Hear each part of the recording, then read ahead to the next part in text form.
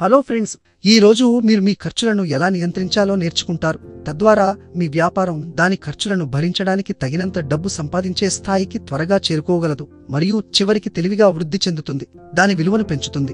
సరళత కోసం ఒక ప్యాక్ దాల్ దీనిని మనం ఒక యూనిట్ అని పిలుస్తాము. దాని అమ్మకపు ధర వంద రూపాయలు అని అనుకుందాం. మీరు ఒక యూనిట్ దాల్ను వంద రూపాయలకు విక్రయించినప్పుడు పదార్థాల ధర డెబ్బై మూడు రూపాయలు. అలాగే సంచులు మరియు ప్యాకింగ్ కోసం నాలుగు రూపాయలు మరియు దాల్ రవాణా మరియు పంపిణీ కోసం మరో ఏడు రూపాయలు జోడించండి. రెండు రూపాయలు మార్కెటింగ్ మరియు ప్రకటనలకు వెళ్తాయి. కాబట్టి మీరు విక్రయించే దాల్ సంఖ్యతో మారుతూ ఉండే మీ వేరియబుల్ ఖర్చులు దాల్ యొక్క ప్రతి యూనిట్కు సుమారు ఎనభై ఆరు రూపాయలు. ఇప్పుడు మీరు ఎన్ని దాల్ యూనిట్లను విక్రయించినా స్థిరమైన ఖర్చులు ఎలా ఉంటాయో చూద్దాం. మీరు ఒక దాల్ యూనిట్ను వంద రూపాయలకు విక్రయించినప్పుడు ఫ్యాక్టరీ స్థలాన్ని అద్దెకు ఇవ్వడానికి ఒకటి రూపాయి విద్యుత్ నీరు వంటి వినియోగాల కోసం మరో ఒకటి రూపాయి మీ కార్మికులకు చెల్లించడానికి రెండు రూపాయల వరకు కేటాయించండి. మీరు బాహ్య కార్మికులను నియమించుకుంటే మీరు రుణం తీసుకుంటే మీరు చెల్లించాల్సిన వడ్డీకి అదనంగా ఒకటి రూపాయిని చేర్చండి. ఇవన్నీ దాల్ యొక్క ప్రతి యూనిట్కు సుమారు ఐదు రూపాయల స్థిర ఖర్చులను జోడిస్తాయి. మీరు స్థిర మరియు అస్థిర ఖర్చులు రెండింటినీ కలిపినప్పుడు వంద రూపాయలకు విక్రయించబడే దాల్ యొక్క ప్రతి యూనిట్లు తయారు చేయడానికి మీకు తొంభై ఒకటి రూపాయలు ఖర్చు అవుతుంది. అంటే మీరు దాల్ యొక్క ప్రతి యూనిట్కు తొమ్మిది రూపాయలు లాభం పొందుతారు. అయితే మీరు పన్నులలో మూడు రూపాయలు చెల్లించాల్సి రావచ్చు. కాబట్టి పన్నుల తర్వాత మీ లాభం దాల్కు సుమారు ఆరు రూపాయలు ఉంటుంది. మీ నికర లాభాల మార్జిన్ ఆరు శాతం అని చెప్పడానికి ఇది ఒక సరళమైన మార్గం. ఇప్పుడు ప్రణాళిక భాగం కోసం మీకు రెండు ఎంపికలు ఉన్నాయి. మీ లాభంలో కొంత భాగాన్ని తిరిగి వ్యాపారంలో పెట్టుబడి పెట్టండి లేదా ఆ డబ్బును మీకోసం ఉపయోగించుకోండి. మీ లాభంలో సగం అంటే మూడు రూపాయలు స్టాక్ వంటి విషయాల కోసం తిరిగి వ్యాపారంలోకి పెట్టడం తెలివైన పని.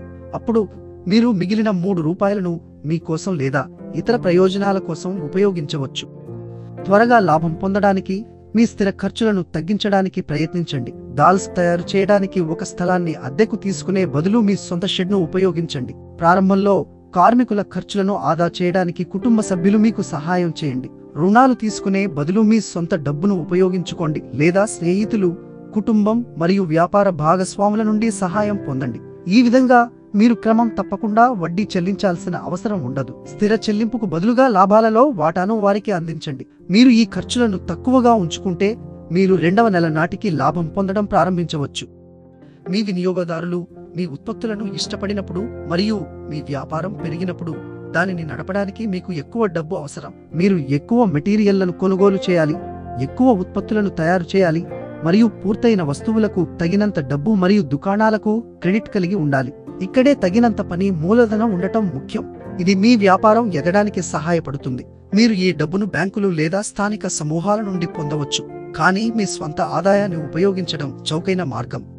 మీ లాభాలలో సగం వ్యాపారంలో ఉంచడం మరియు తిరిగి పెట్టుబడి పెట్టడం ద్వారా మీరు రెండు పనులు చేస్తారు. మీకు పని చేయడానికి ఎక్కువ వర్కింగ్ క్యాపిటల్ ఉంటుంది మరియు మీరు మీ వ్యాపారం యొక్క విలువను పెంచుతారు. మీరు తిరిగి పెట్టుబడి పెట్టినప్పుడు మీరు పెద్ద ఆర్డర్లను నిర్వహించవచ్చు మరియు ఎక్కువ స్టాక్ను ఉంచుకోవచ్చు. ఇది మరింత వ్యాపారానికి దారితీస్తుంది. ఫలితంగా మీ వ్యాపారం యొక్క విలువ పెరుగుతుంది. ముందుకు చూద్దాం.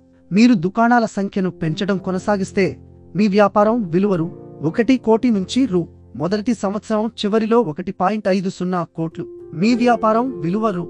మీరు రెండవ మరియు మూడవ సంవత్సరంలో డబుల్ షిఫ్ట్ పని చేస్తే రెండు పాయింట్ ఐదు సున్నా కోట్ల నుండి మూడు కోట్ల వరకు ఉంటుంది. మీరు మీ వ్యాపారంలోకి ఎంత ఎక్కువ డబ్బులు తిరిగి పెడితే అంత ఎక్కువ క్రెడిట్ పొందవచ్చు అంత ఎక్కువ అమ్మవచ్చు మరియు మీ వ్యాపార విలువ అంత ఎక్కువగా ఉంటుంది. All the best. Please like share subscribe to Vyapara coach channel.